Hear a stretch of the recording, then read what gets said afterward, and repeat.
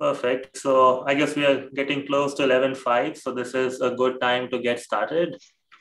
Uh, so please welcome Carl Vondrick.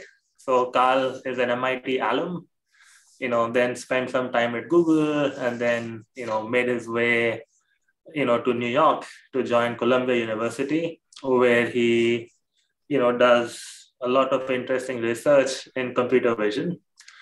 Now, in his PhD, you know, Carl was one of the brave people who said, I want to predict the future.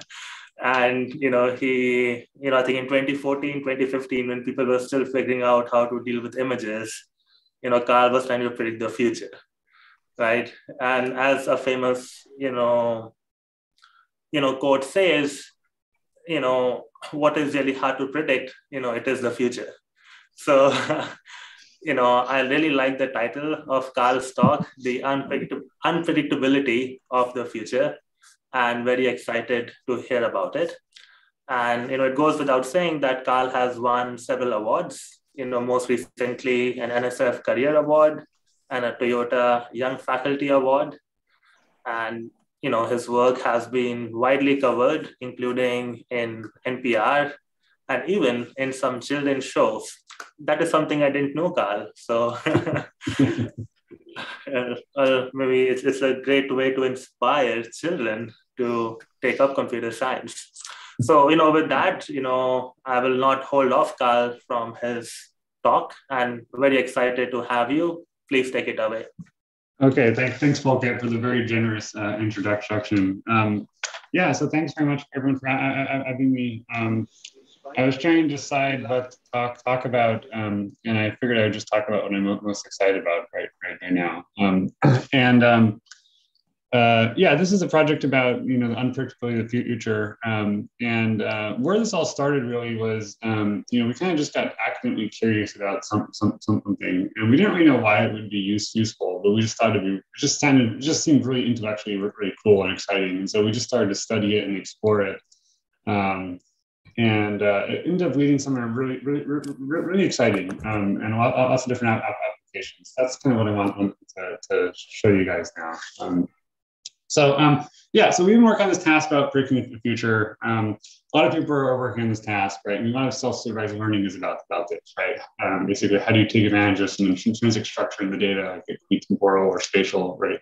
Um, and use this as like use this prediction task and you predict kind of out, out, outcomes as a signal to learn.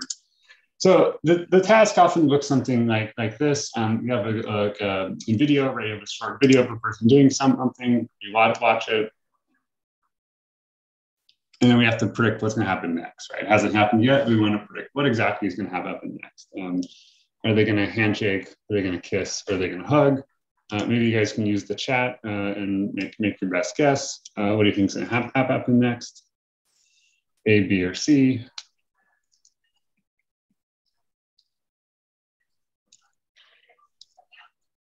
Okay, two B's, one C. Come on, it's not, not, it's not a trick question. Okay, a few more B's. Okay, okay. Okay, right. So they they're, they're going to kiss next, right? And so we're you know in some cases we're actually pretty good at predicting the future, right? We're you know this is just you know not very far in the future. You're just predicting kind of a second out, right? But, but sometimes we're actually pretty, pretty, pretty good. And this is what this task is about, right? There's a lot of lot of benchmarks now in computer vision about this. About how, how can you build these predictive models of human activity? That's what's going to happen next. What about this this video here? Okay, so what about now? What, what, what are they going to do next? Are they going to handshake? Are they going to high five? Are they going to eat? It's not so clear anymore, right? Um, and and this is, um, I think, whenever you encounter any realistic situation, it's really hard predict the future, right? There's if, when we commit to these kind of predefined categories about prediction, it's really hard to decide. There's lots of uncertainty here, right? A lot of uncertainty as to what's going to happen, happen, happen next. Um, and so the question we, we, have been looking at lately is, um, you know, there's all this work trying to build these predictive models and they often commit up front to what they're trying to predict. You know, some work, for example, tries to predict pixels in the future. They try to generate videos of, of the future. Very hard, hard task. Others try to do this categorization, right? But if you get the categories wrong, right, then it's still uncertain. There's still a lot of uncertainty as, as, as, as right? So what we wanted to do, what we were after here was kind of a more natural representation for prediction, which is if I show this video to you and I ask you just to speak in natural language as to what's going to happen next, you wouldn't give me probabilities in terms of these categories. You'd probably say something in natural language and say, well, they're going to greet each, each, each other. I don't know what type of greeting exactly they're going to, going to be doing, but the thing that is predictable here is this, this more abstract category of, of, of that, that, they're, that they're going to greet. And so this is some work that uh, two PhD students in my group, uh, and, and Ruoshi, um, have been in, in investigating, and they published the first paper on this um, back at the last uh.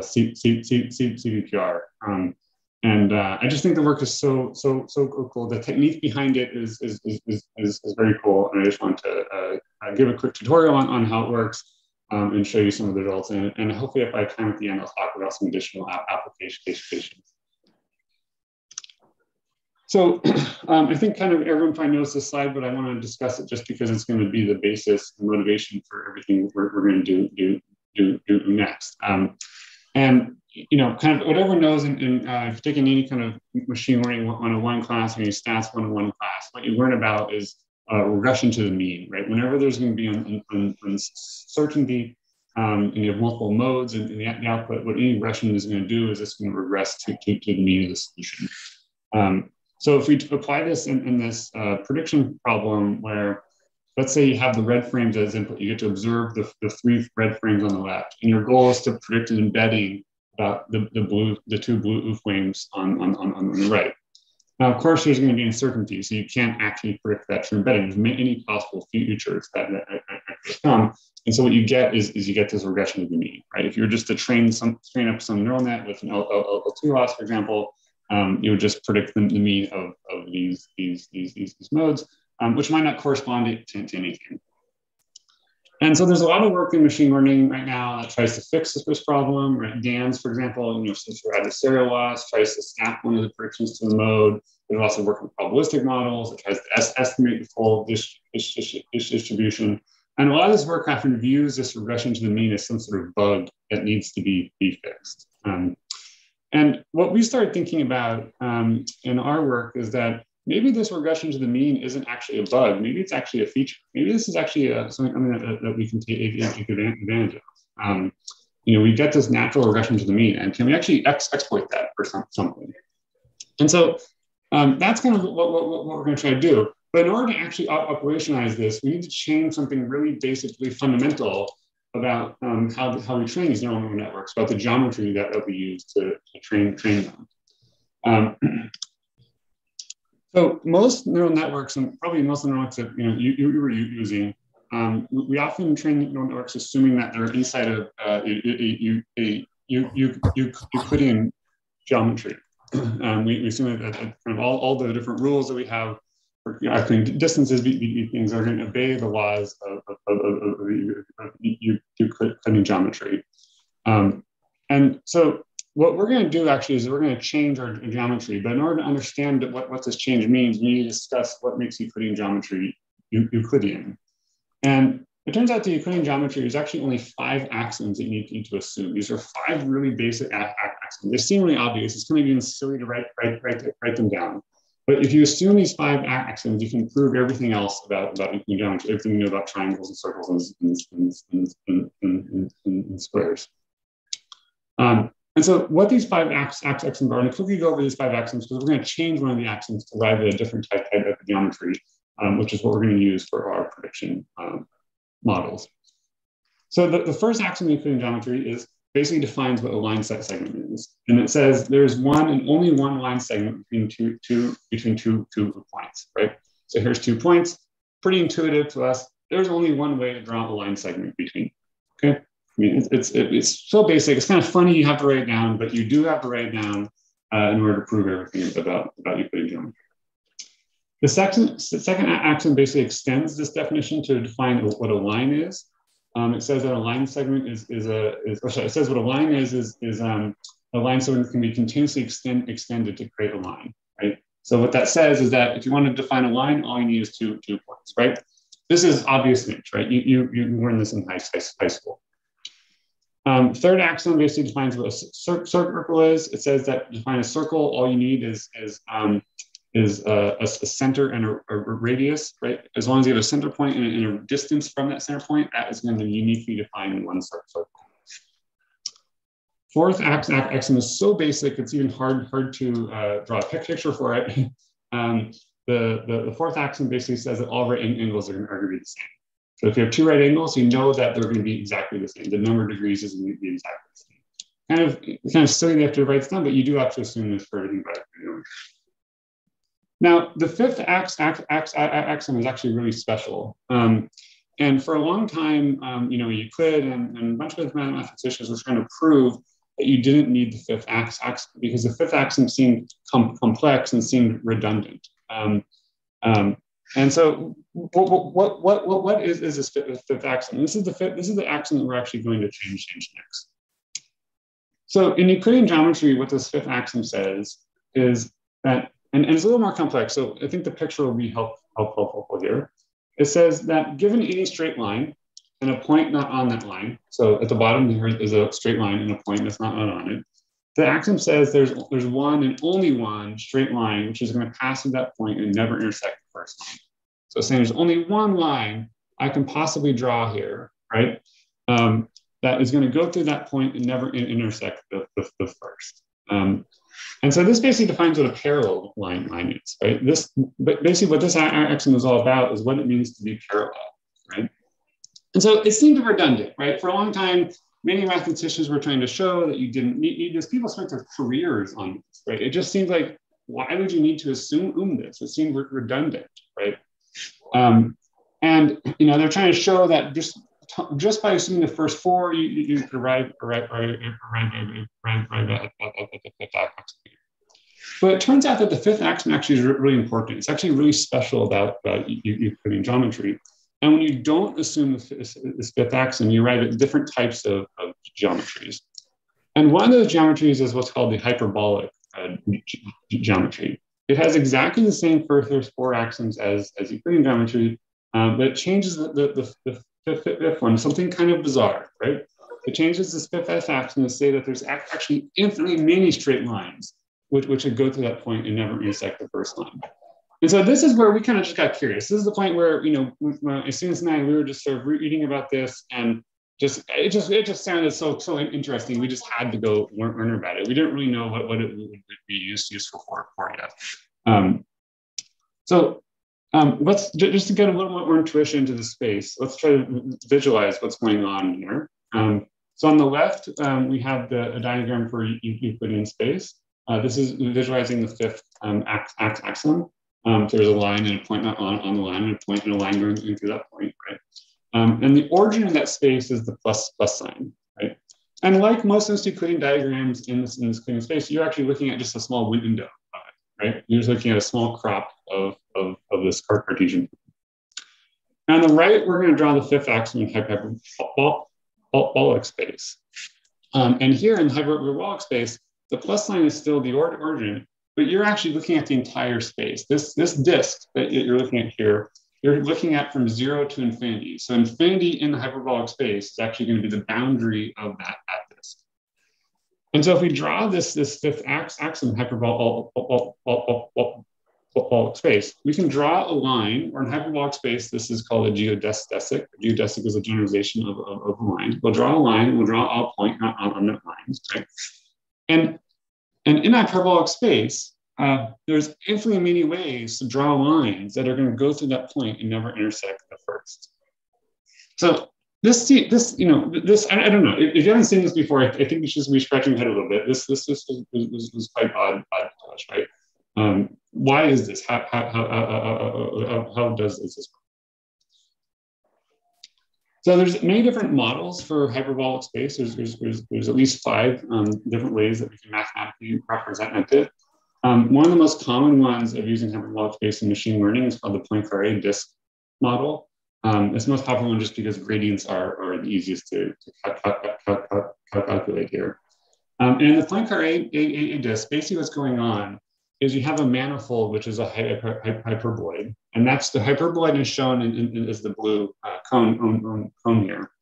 And so points are going to be living on that hyper, hyper, hyperboloid, and they're going to get projected to this disk um, um, by uh, from their in, in, in, angle.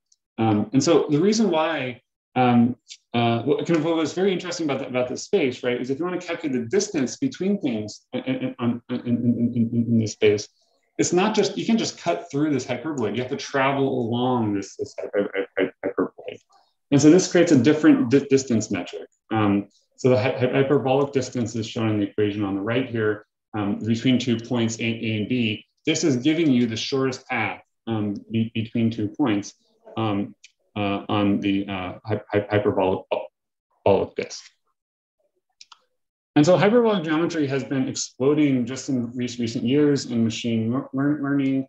Um, like, like most good, good ideas, um, it started in NLP. Um, this was a, some work in 2017 at NeurIPS um, by Nickel and Kiela about learning Poincare embeddings for, for um, word in, in, in embeddings. Um, just in the last few years, this has come to CVPR and computer vision community with a few papers coming out. Uh, the first papers in, in, computer vision coming out in, in 2020 about using hyperbolic geometry. Um, and I think it's just going to continue to explode. And so one of the goals in this talk actually is to convince you that this is just a good idea that the community should investigate. So one of the, the, the, the, unusual properties about this hyperbolic space is because everything's being calculated on, on, on, on this manifold, geodesics, which are basically lines, ge geodesics in hyperbolic space don't look straight to us. Um, so this is uh, on the right, right? What we're visualizing is a geodesic, which is the shortest path between two, two, two points.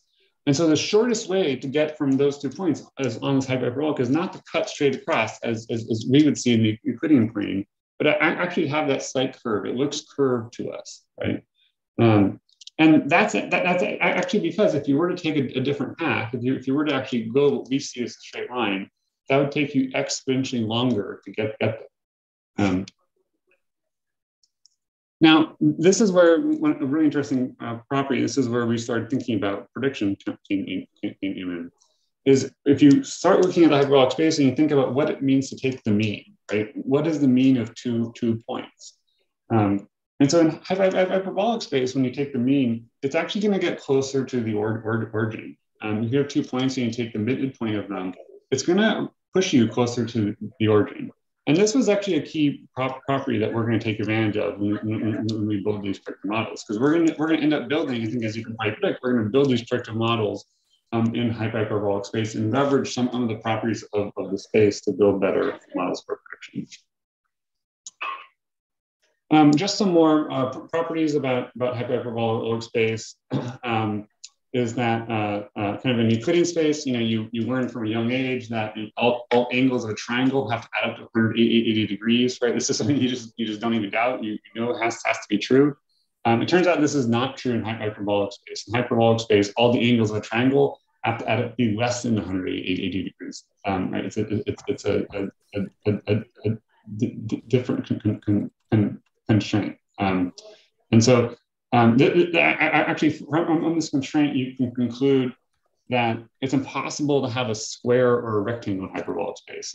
Those shapes just don't exist in hyperbolic space. There's no such thing as a square. If you lived in a hyperbolic world, well, some physicists actually do think we live in a slightly hyperbolic world, but if, if, if you actually did live in a hyperbolic world, you'd have no concept of a square or a rectangle. It's just not possible for those, those, those to exist because you can't have a four-sided polygon where all the angles are going to be 90. Right? You can have a four-sided polygon where the angles are not, not 90, right? But because of property, you actually can't have, have, have, have, have a square. Um, circles do, do, do, do exist, um, but they just look a little, um, a little odd, right? Um, so on the left is a standard circle in, in Euclidean space, right? The center looks like it's in the center. Um, and on the right is a circle in hyperbolic space. Um, and this is starting to illustrate actually a property about the density of, of, of, of, this space. To our Euclidean eye, eyeballs, it seems like the center of, of that circle is lopsided, right? It looks like it's lopsided, but actually that is the center of mass of that circle. And this is because in this space, and this is why this space is so interesting, is as you move away from your or, or, origin, the space is getting exponentially more, more, more dense. There's actually more room as, as, as, as, as, as, as, as you move away from your origin. You can pack more stuff in, right, um, as, as you move away from the origin. So those, those red lines, right, is showing the radius of, of, of, of, of the circle. Those red lines are exactly, are exactly the same dis distance. Um, those, that's showing radius, are exactly the same distance away from the origin. So um, you know, this, this idea of hyperbolic space has really fascinated people for a long time. Um, um, this is a drawing from M.C. Escher. Um, and what was amazing about M.C. Escher is that he understood hyperbolic space well enough that he can actually draw pictures in hyperbolic space just with a pencil and a compass. He didn't need a computer in order to, to, to draw in hyperbolic space. And he created these beautiful tilings. Um, but it actually illustrates an important property about the space. And this actually illustrates why some people in machine learning are starting to get excited, excited about, about this geometry. And the, the, what he's showing here, actually, this is a really good illustration now, is that it shows the, um, that basically illustrates the, the density of the space, how you get more space as you move away from the order. So all of these, if you look on the right, you see a bunch of tilings of bats, right? All of these bats, the area is exactly the same. Um, so the area of the big bat in, in the center is exactly the same area as the bat that you know it's on the boundary of, of this disk. And that's just because you're getting more more dense. It's getting more dense, right, as, as, as you move away from the, the boundary.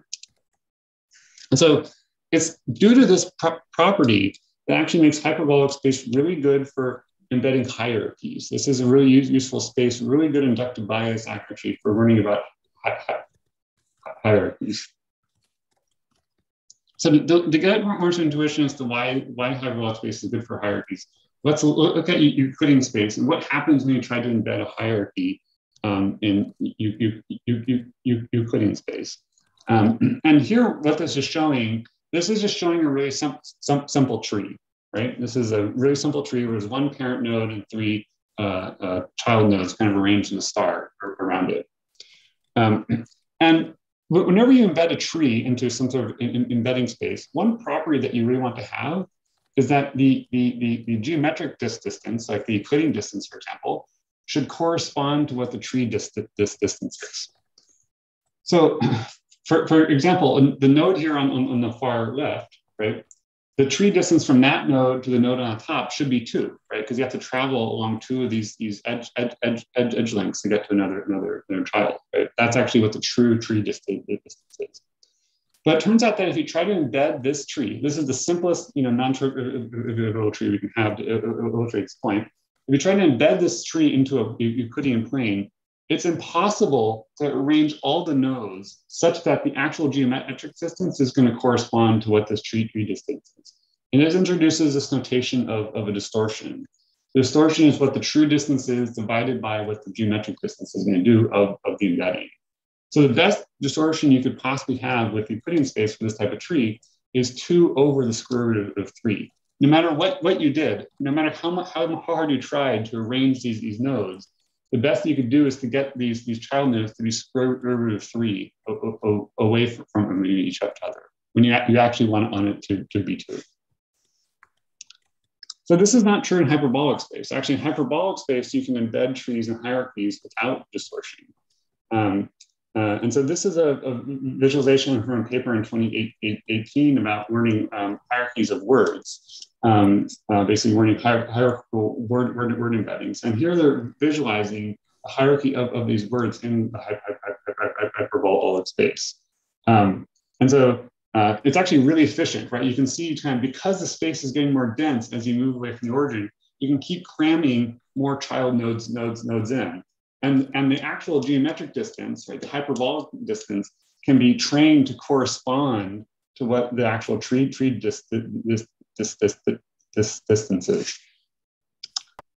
And so this is what we're actually going to do in order to build these predictive models that try to discover abstractions and try to understand what is actually predictable in the future.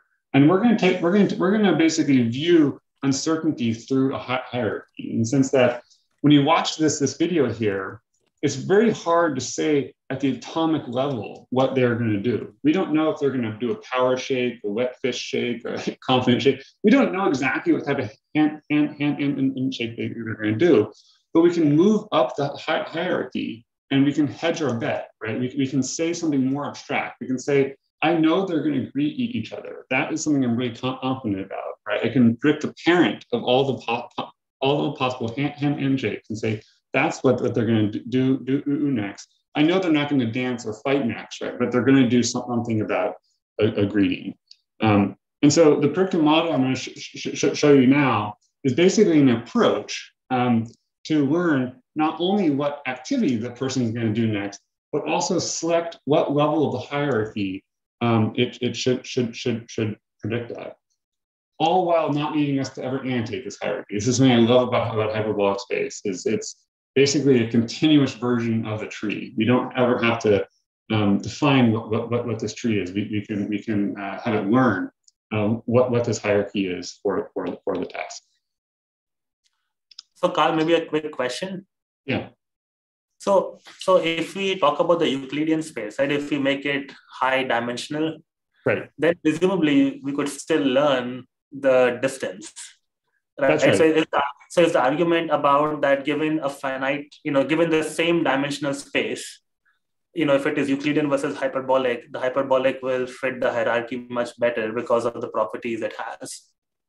Yeah, that's right. That's right. So if you if you increase the dimensionality of, of your space, then Euclidean geometry can encode hierarchies and such that the, the distance will correspond to, to, to the tree distance. Um, so hyperbolic space is especially useful when, when, when the dimensionality is low. Um, okay. One other property though of hyperbolic space is that uh, you basically get a dimension. You, you, you, one advantage of hyperbolic space is interpretability, which may be a little odd for me to say because hyperbolic space is so counterintuitive. It's why is it more, more, more interpretable? Um, but basically, what you get a, a dimen- one one dimension in the space is going to correspond um, to your your uncertainty. Um, so in Euclidean space, you wouldn't know that for free, right? You'd have to figure out once you learn learn learn, learn, learn your Euclidean embedding what direction corresponds to a parent node in the tree. Um, that, that would not be known, known to you right, right away hyperbolic space, you actually get that for, for free, um, which is, I think, an, kind of an interesting advantage for interpretation. Okay, okay, thank you. Okay, so here's what we're gonna do. We're gonna basically gonna, we're gonna build this predictive model. Um, it's gonna be just like a standard predictive model that you've, you've, you've seen in, in many different works, um, except we're, we're gonna be building this in hyperbolic space. Um, and so it's gonna be the same setup that we had before where we have a few frames as, input. So the, red frames is input. And you want to predict an embed, embedding about the future. So embedding about the blue, blue frames, frames here. You're trying to anticipate an embedding right, about, about, about the future. But of course, there's going to be uncertainty, right? You, you, the true future is going to be, for this particular video, is going to be Z, but there's many possible things that could have happened next, right? This is a person doing a sports routine. They could have done many different things next, right? So what basically this model, again, by operating hyperbolic space, basically, we're still going to be predicting the mean of all, all, all of these, these, these possible out, out, out, outcomes. We're still predicting the mean of, of basically all, all, all, all these different features. But the mean here is going to correspond to a parent node inside this hierarchy, right? If you take, if you take the ab average of all of these black and blue nodes, it's going to correspond to somewhere around that red red node where, where z hat, hat, hat, hat is, right? The mean is going to be moving closer to the, the origin. And so this is how we're going to un, un, un, understand uncertainties, that there's this dimension, there's this direction in the space, which is the distance from the or, or, or origin that tells you how confident you, you are. So the last function we can write down is here. Um, this is uh, just the, this is exactly just a standard contrastive loss function that you've seen in many works now.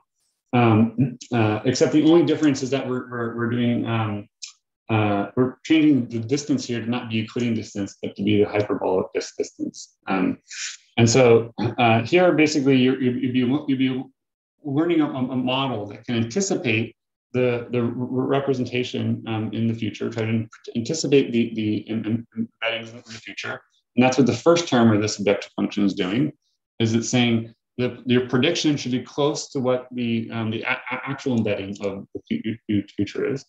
And the second term is just an example, is just a term for negatives, which is saying you know, the, the to prevent a trivial solution where, where both uh, z and z hat collapse to always being constant. So the, the second term is just a term for, for negative saying your prediction should be far away from just distractors.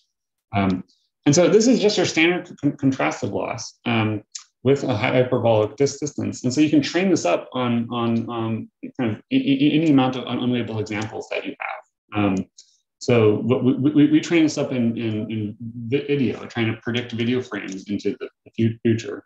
Um, uh, and it, it, basically to learn this, this predictive model um, about what's, what's going to happen next. And so we say this learns the predictability of the future because the model is able to, you know, at, at inference time, automatically select what level of the hierarchy it should be predicting at. If it's really confident about the, the future, the z hat here can move towards the boundary of the disk. It can say, oh, I know exactly what this person is going to do. But if the model is not confident about, about, about, the, about, the, feature, it can basically it can basically move up up the hierarchy and hedge hedge hedge the bet in some ways and predict a, a parent node inside this, this, hierarchy. If it's full, if it has no idea, if the model has no idea what's going to happen next, it can predict at, at the origin, which is kind of the root node of, of, of this hierarchy which corresponds to some philosophical, you know, action of saying do, right? some activity of do. It doesn't doesn't really say anything precise about what's going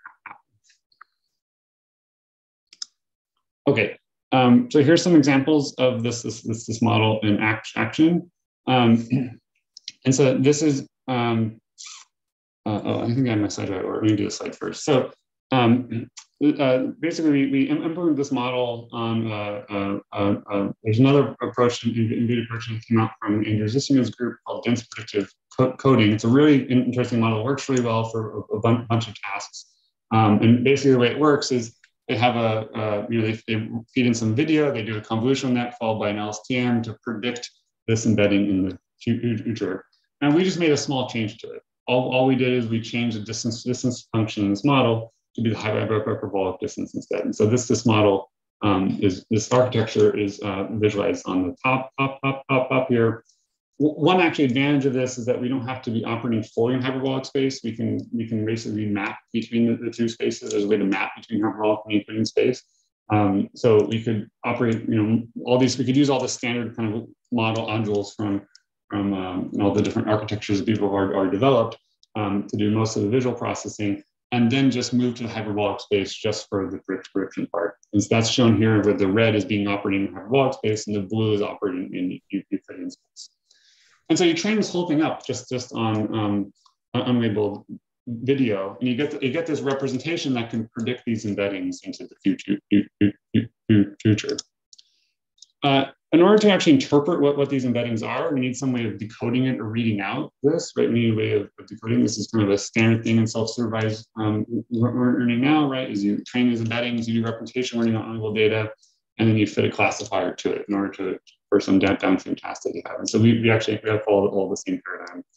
It's a little bit more complicated in our case because we're not operating in Euclidean space. So our, our classifiers can't just be linear classifiers now. They have to be hyperbolic linear classifiers. So you have to build a linear classifier in hyperbolic space.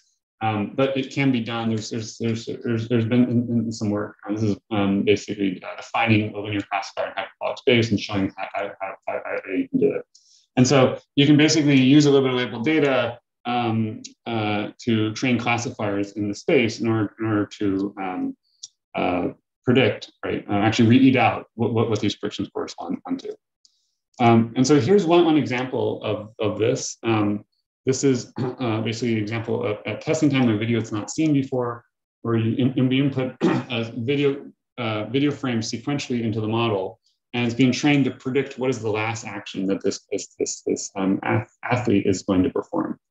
So at the very beginning here, when you all you have is a single frame as, as input, um, the model is not very confident as to what, what, what this person is going to do. And so it makes this prediction that is relatively close to the or origin hyperbolic space. So that's shown in the second row here. Right? It produces a prediction um, at, at, the radius in this Poincare ball is only about 0.85 away from the, the origin. Um, and what that corresponds to in, in, in, this model is it corresponds to a, a parent node, right, in, in, this hierarchy of action, actions. And so the model can say, only confident thing it can say is that the person is going to do some routine with the uneven bars, but can't say exactly what, what routine they're going to do.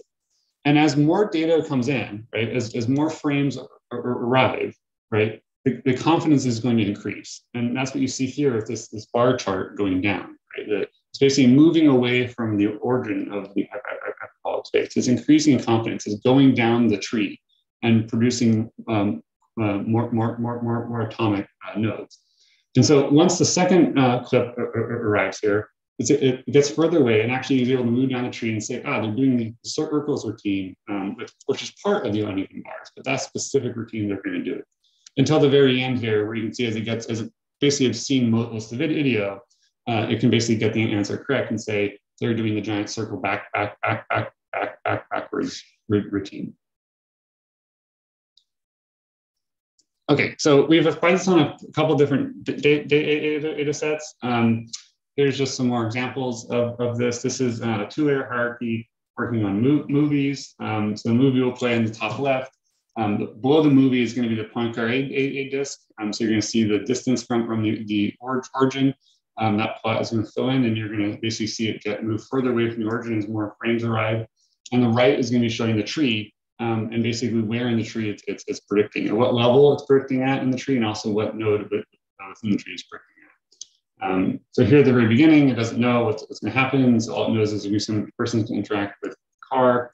Um, and as they, uh, you know, eventually once they see the car door open, it can snap and predict and say, uh, they're going to be getting out of the car. That's actually what's going to happen, happen next. Um, here's another example, a little more complex hierarchy. This is a three-layer hierarchy now. Um, this is working on the Olympics. um, and so it's the same setup here. So I'll play the video. So in the very beginning, all I can say is balance beam. It's, it's very confident balance beam is going to happen. Some routine about that, but doesn't know what about the balance beam is going to happen next. Um, and once the person does that, that, that, flip, they can say, well, they're going to do balance beam, leap, leap jump hop. That is very confident now still, right? Knows within that routine, this is what's going to happen, right? Um, and as more, more and more frames arrive, it eventually can be more and more specific. You can move down this hierarchy um, and actually say, well, the exact routine is going to happen is that, is that they're going to do split jump. This is the routine that, that, that, that they're doing. Uh, here's another example. Uh, so here they're doing uneven bars, doesn't know what type of uneven bars the person is, is, is, is doing um, until more frames arrive and it switches uneven bar cir circles. I think, it gets, I think it's actually wrong here. It says transition flight. Um, and we can back backtrack those. So this model can actually then back backtrack to the end and say, oh, they're going to do giant circle back, back, backwards. So I think it's, it's actually pretty interesting because it's the, rather like so many of these predictive models that you see in, in, in, in the community right now are basically committing up front to what to predict, right? And this is adapt adaptive, right? This is this model is actually adaptive to different different uncertainties. When it's confident, it, it can it can move down the hierarchy. When it's not confident, it, it can move up up up up up up the hierarchy and predict something at a more abstract um, level. Uh, yes, yeah. Maybe I missed this, and you told about this. So, what incentivizes the model not to predict the topmost level, right? Because ah. it would always be correct that's a great, great question, question, right? So this is a common problem in machine learning is we want our ability for the model to say, I don't know, right? Um, and whenever we try to do that, we, we often, it just learns to predict this trivial solution of always saying, I, I, I, don't know, right? So why is it not always saying, I, I don't know um, and what I think it's actually one interesting advantage of this approach is that there's no threshold for us to tune. There's no, we don't have to set some hyperparameter about what I don't know no means. Um, and it's all, all, all basically due to this contrastive objective. This, this objective has two different terms, terms here. The, the first term basically prevents what, what you're saying from happening. It is trying to pull the prediction z hat here to be as close as po po po possible to what the true future is. So it, it is, you know, there's a term trying to pull the prediction to as close to the ground truth as it can. And basically that prevents this, this, this, this, um, this kind of trivial solution of always saying, I don't know. Um, uh, but because there's going to be uncertainty, whenever there's going to be uncertainty, the optimal so solution to minimizing this first term is going to be to predict the, the mean of, of all, all, all, all, the different no, modes. And so this is why it's moving up the hierarchies, because it's basically predicting the, the, the, mean of, of, of, of, of the, the, modes. does this answer your question, Pulkit? Yeah, so, so I guess because the tree gets structured in the way you were describing earlier, that the center, like the topmost node is in the center somehow. So if you average things of your leaf nodes, you end up moving closer to the center, which is why it is making right. predictions upwards without having any explicit constraint. Exactly, exactly. Because it, it, if it basically, if, if the model were to predict at, at the center here, which is saying I don't know, right? If it were to predict at the center saying I don't know, that wouldn't minimize the loss because it could yeah. it could minimize it more by moving closer to the actual mean, Um, and, and then then are we assuming that the videos have been labeled with their finest categorization in the data set? Or, yeah, that's a, that's also a great, great question. I've, I've lost over, over this. So you, you, can train this whole thing with just unlabeled examples. Um, and then you need some labeled examples to fit the class, class, class classifier. So um, basically you need some labels for each level, for each node in the tree that you want to class, class, class, class specify. So you need some label examples for each node, but you don't have to know the hierarchy. So I, I don't have to know whether an, an, an apple is, is, is, is, is a fruit or a fruit is an apple. I don't have to know the direction, basically, of anything in the hierarchy. But I do need some examples of what an apple is, of what a fruit is, right?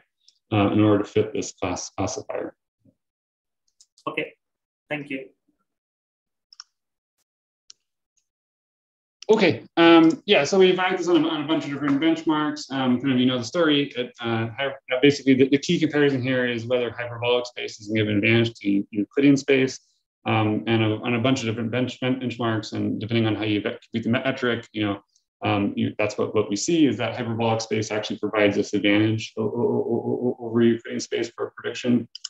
Um, this goes back to an earlier question in Pulkit I think you had about um, the dimensionality of, of the space. This is visualizing a different data set now um, with the results, but we're also showing results as you change the dimensionality of our embedding. Um, so here the uh, plot is showing uh, in the lighter color is showing the performance when you have 256 dimensions, while the darker color is showing the performance when you have 64 dimensions. Um, and so what you should see here is that when the dimensionality is large, you know, the advantage of hyperbolic space is, is, is small, right? There's, there's, there's only, you know, a, a, a, a, small, small gain. But when the dimensionality is really small, when you're seeing you require this compression, there's hyperbolic space still basically doesn't drop in performance much. And there's actually a huge, huge a huge gap. Um, right, so you can see that switching from two fixed dimensions to 64 dimensions, there's basically a few few percent drop in hyperbolic space. While in Euclidean space, there's this huge drop, right? Often kind of almost 10, 10 points, right? Uh, just by making, making the, the dimensionality small. Um, and so here's, here's a final um, visualization of this I wanted to show, which I think shows basically how this, a little more intuition in this model. Um, this is trying to visualize the, the trajectory that the model takes in the hyperbolic space as more frames come in. So the, the video here is basically the, the friction in the embedding space as, as more and more frames arrive. Um, uh, and you can see basically what's happening is it's getting closer and closer to, to, to the boundary of, of, of, the disk, right? It's moving through the space and getting more and more, and more confident um, as a, a, a, additional frames come, come, come in. Okay, uh, so I think I have about 10 minutes left, is that right? Um, yep. So then I guess on the last thing is I just wanted to talk about another application of, of this we, um, that we've been exploring. I also think it's really exciting. Um, and I wanted to briefly mention, mention that. Um, uh, kind of, we, have been, you know, we've been working on these predictive models and we've been really interested in all the different applications of, of, of them. Um, and uh, I just want to show, show you one that I, I thought was, was, was pretty neat, um, which is about this problem of robustness. Um, I think this is a uh, basically a problem kind of undercuts a lot of different um, AI problems today, right? But we, we have these models that are vulnerable to adversarial examples. They, they don't generalize well when you have something out added distribution. So at the bottom is uh, examples from ObjectNet data set actually created at, at MIT, right? Um, which is where these models fail a lot once, once you go, out, go outside of the, the, the distribution.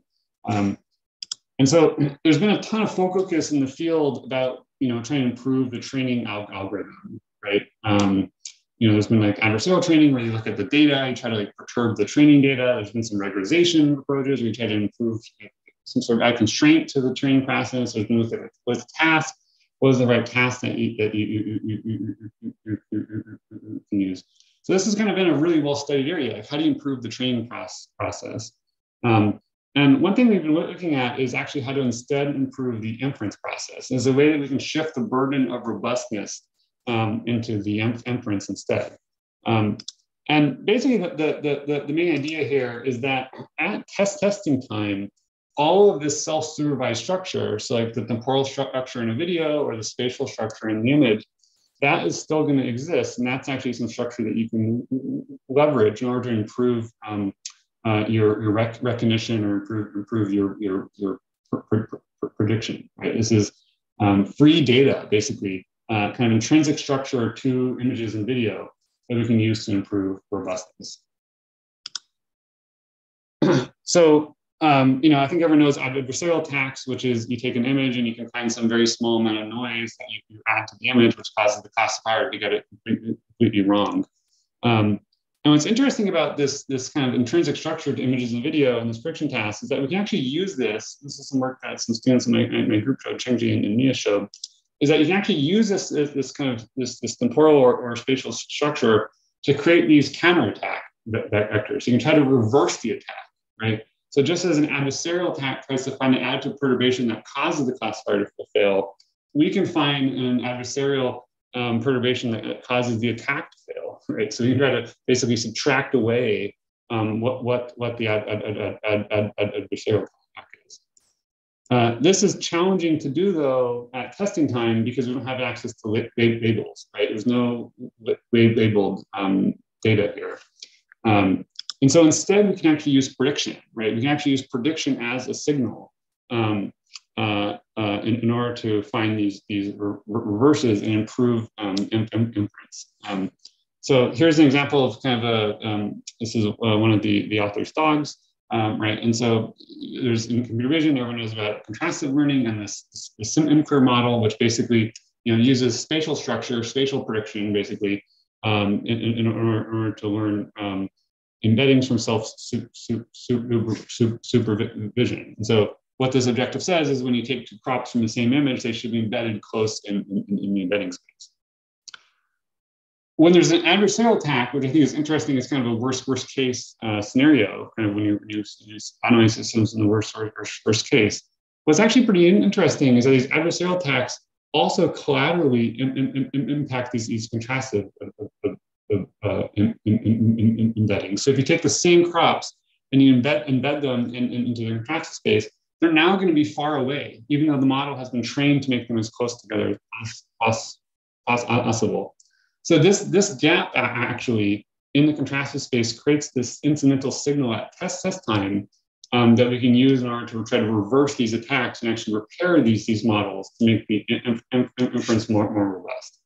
Um, and the way you basically do this is you launch the same thing, you launch the same type of objective that you that an attacker would, would do to, to, to, to destroy the images. But now you're basically trying to find the adversarial perturbation, the small perturbation XR here, that is going to cause the self-supervised loss to be restored. So you're trying to find an adversarial perturbation that causes the self-supervised objective to, to, to be restored so that LS is actually going to be, be close, close to each other.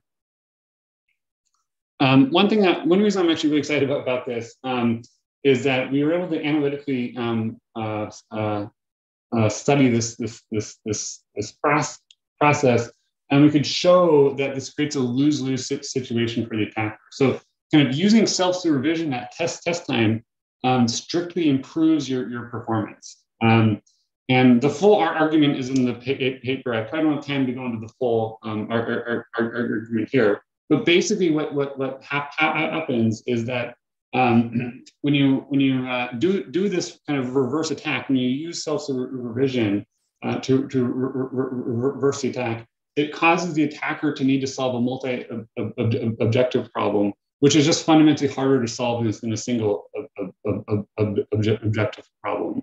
So this creates a Pareto frontier, and no matter where you operate on the Pareto frontier, um, it's going to be a lose-lose uh, situation for, for, for, for the attacker.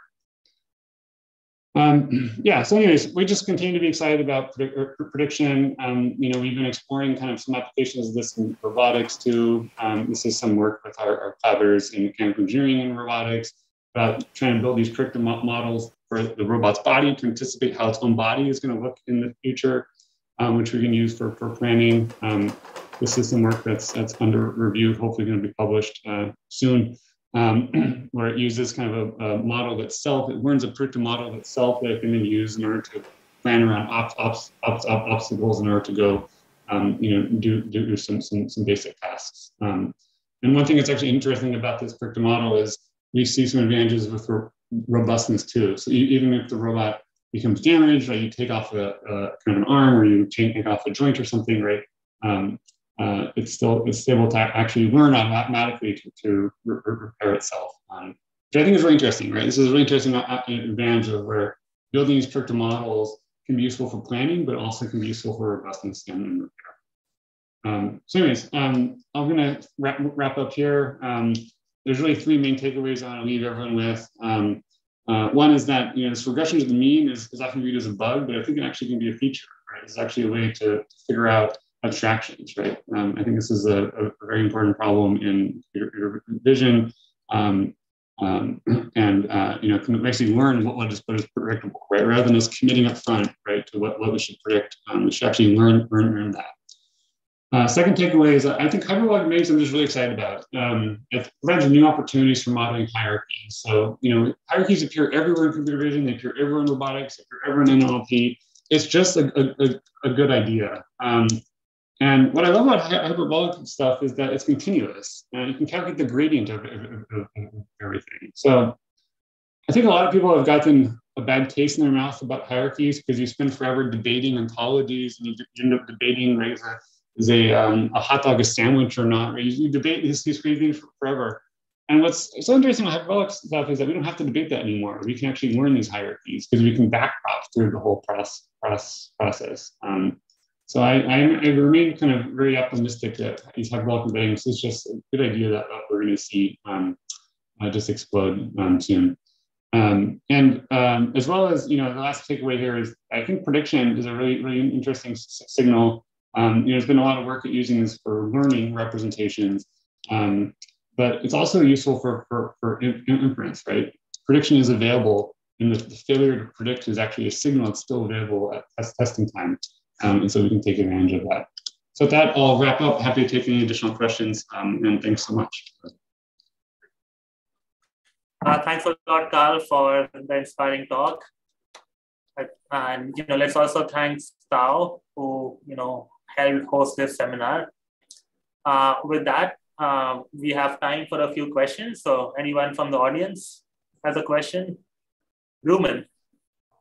Uh, hello, uh, thank you for the great talk. Uh, I have a question about uh, the videos and the certainties of the embeddings. Uh, yeah. So we currently some of the examples that you gave is that the certainty always increases. Uh, I'm curious what's going to happen if we have some adversarial setting where, for example, suddenly we start a new video that's completely different from the from the one that we've been watching so far and how the uncertainty changes um, is in general, do we have any guarantee that the embeddings are going to become more and more certain? Uh, or is that some implicit uh, thing that comes into the loss function? Thanks. Yeah, that, that, that's a great, great, great question. Uh, there's no guarantee, and I think that's a, a good thing. It actually can back backtrack. Um, so it can get less certain over, time. If something unusual happens, if there's anomalies, actually can back, back backtrack. And the reason why is because this objective, all it's trying to do is, is get as close as is trained to try to get, get its Z its Z hat to be as close to what is actually going to be observed, right? Um, so it's able to learn basically when when when when when to back back back back back back off. Um, we saw some examples in this video here where that's not quite what you're saying, but I think it illustrates the same point. Is it moves down the, the path and it actually gets it wrong, right? It makes the wrong it's the wrong prediction at the leaf node and it's able to go, go back and go down a different path. So here it predicts transition flight, which is wrong. And it's once more data comes available, it's going to switch back down to down down a, a, a different path. Um, so. Thank you. I think Cyrus. Hi, um, Carl. Thanks for a great uh, talk. So I have a question on the applications. So have you considered uh, applying your models to the domain of autonomous driving? So for instance, like predicting future behavior for like uh, traffic agents becomes like a very important question in this domain. So do you have any thought on that? So what are some of the challenges uh, on applying your model to this domain? Yeah, I think that's, a, that's also a great question. Um, and we've been talking about different ways of, of doing this in autonomous driving. Um, the hyperbolic representation is really good for semantic hierarchy. So this is for action prediction. So, you know, that does come in autonomous driving, right? Like what activities a person going to be doing. But uh, I, am not sure hyperbolic space is the right embedding for trajectory prediction, right? If you want to represent the trajectory a person's going to take. Um, there's other types of geometries that might, might be better suited for for that. Um, particularly the Wasserstein um, distance might, might be a better approach. We've been looking at different ways of doing that, but nothing con con concrete yet. Um, cool, thanks. And I guess we have a question from Akash, maybe the last one. Oh, thanks, thanks for the talk. It's really amazing. Um, I have I have simple, very simple questions. Like, how do you actually pick the time um, slice for um, you know what becomes the mean and what becomes the sort of the embedding and in that sense like is there a generalization of this to static images i mean like as humans we can make some some decisions just by looking at the last because you were um, if you pause the last figure we can also make and the related question to that is then what about the uncertainty uncertainty quantification is there a sort of a i'm just wondering this this kind of this system should have an amazing way of um, quantifying the uncertainties of the predictor. And I, I wonder if you looked into it, that would be pretty useful. Yeah, a couple questions. So one, I guess I'll go in reverse order. Uh, yeah, so there's this question of like, is there a way to map these representations of uncertainty to some probability, right? Um, and we've been we've we haven't seriously looked at that much, but um, we've been exploring different ways of, of doing that. It's sort of unclear. We're not actually sure if there's a, a rigorous way of making that, that map mapping. There's other types of geometric embeddings that do make this rig rigorous. So, and those are equivalent to hyperbolic spaces. So it seems like there's some, you know, winded, long-winded argument we could try to make to map it back, back, back to a, a, a probability. But I think what I remain excited about this more is that this is a more natural representation of uncertainty for, for or more intuitive representation for pe- people, right? Like rather than a person saying, "Oh, the coin's going to be fifty percent heads," they, they, would hedge the bet and say, "I don't know what be tails, but I do know it's going to land on the floor," right? Um, and so that's I think is an interesting advantage here. Um, I forgot the first question actually you had. Um, uh, just how do, how do you split this? Uh, you know, the, the red part from the blue part. Is there is there something you're when oh. you're training the model? Yeah. Yeah, that's just kind of a hyperparameter. Um, we we ended up just building off of um, this paper, dense predictive coding from Andrew Zisserman's group, um, where they had picked the hyperparameters, and we just kind of made a one-line change to, to their code to do the hyperbolic distance instead. Um, so yeah, that's a hyperparameter you, you can pick. This is a recurrent mo model, so um, in some ways it should be a little robust at hyperparameter because it, it's basically feeding in one frame at a time and making a prediction each time, time step. Thanks. Oops, so I think we are a couple of minutes beyond noon. So let's thank Carl once again. Thanks so much, everyone. Uh, and I'll be around uh, tomorrow to uh, chat, chat more, more, more, more too. Cool. Yeah, we're looking forward and thanks, Carl, once again for making the time. No, thanks so much for